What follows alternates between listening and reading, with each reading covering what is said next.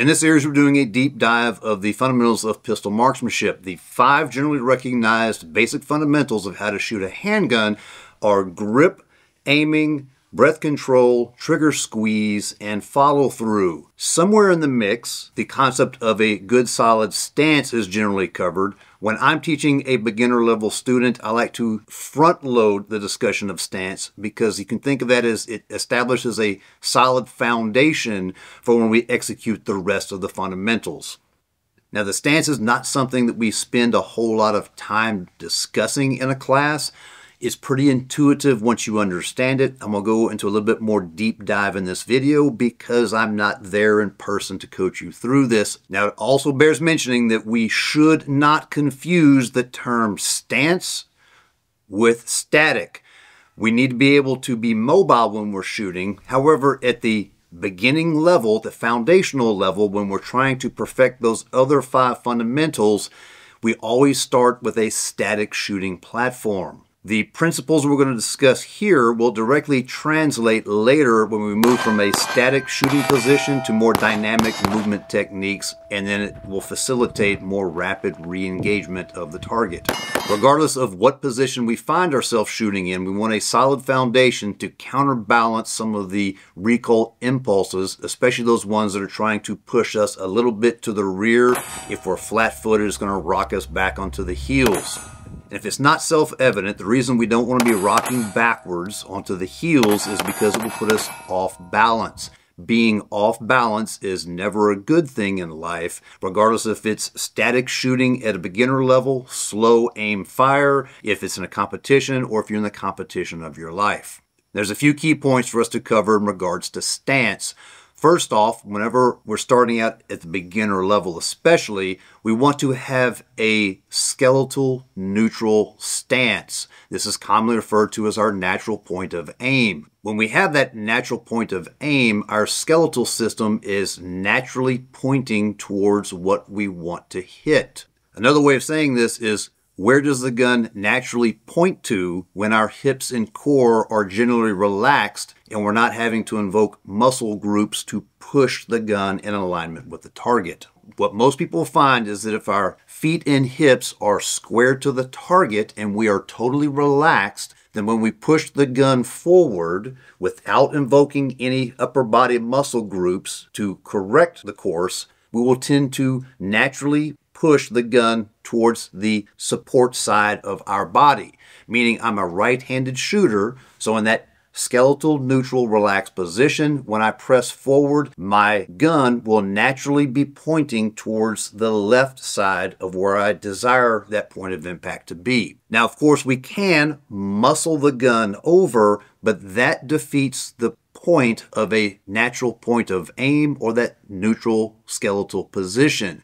We want to use as few muscle groups as possible, especially at the building block stages, because the more muscle groups we have to use to force the gun over, the shorter the utility of that shooting session will be.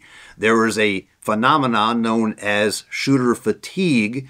Either mental or physical fatigue will set in after a point in time, and then you're going to have diminishing returns on your range session. And also consider that the more muscle groups you use to stabilize the gun, the more wobble you're going to introduce as you're trying to hone those five fundamentals. Now that we've established the purpose or the importance of the natural point of aim, we've established kind of some context. Now we're going to move downrange and I'm going to walk you through how I typically will coach someone with establishing a good solid stance, Remember, this is not a static type mindset. This is the foundational skills that gives us the proper body mechanics so that later on when we're introducing more dynamic things such as shooting while moving or awkward shooting positions, this has established the foundation for the body mechanics that will support those.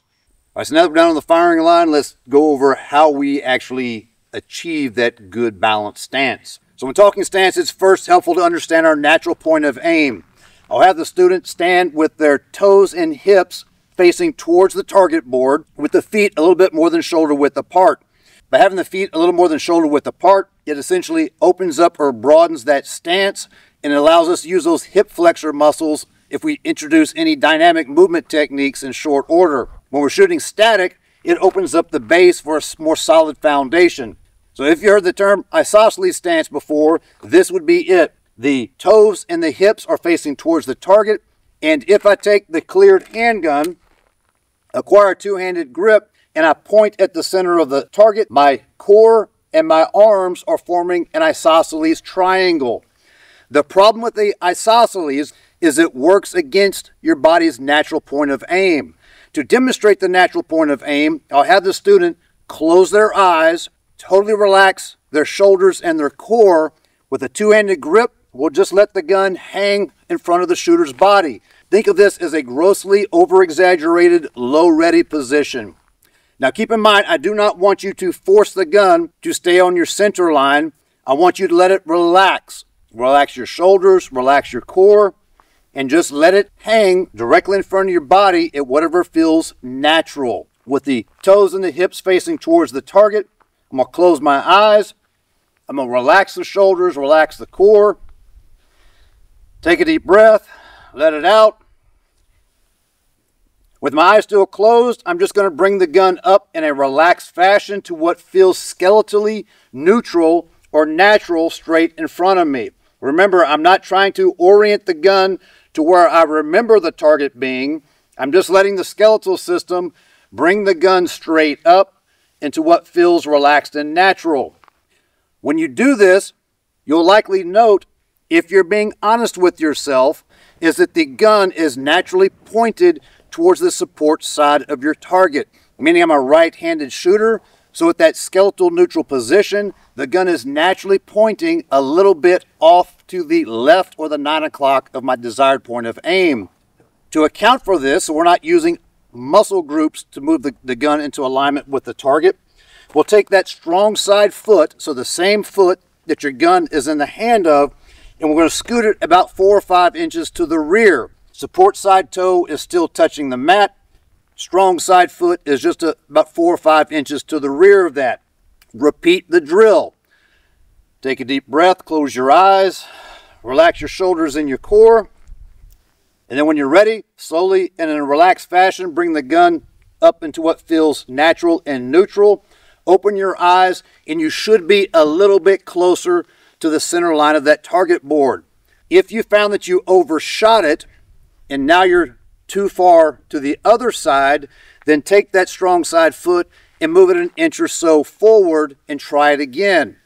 For me, when I just did this, I was still just a little bit to the 9 o'clock. So I'm going to take that strong side foot, I'm going to inch it back just another inch or so and repeat the drill. Close your eyes, take a deep breath, roll the shoulders, relax the core, and then just bring the gun up to what feels natural and neutral. Now the gun is more centered onto this target board. It does not need it does not need to be absolutely perfect. What we're going for here is to reduce the amount of tertiary muscle groups that are required for that fine-tune alignment.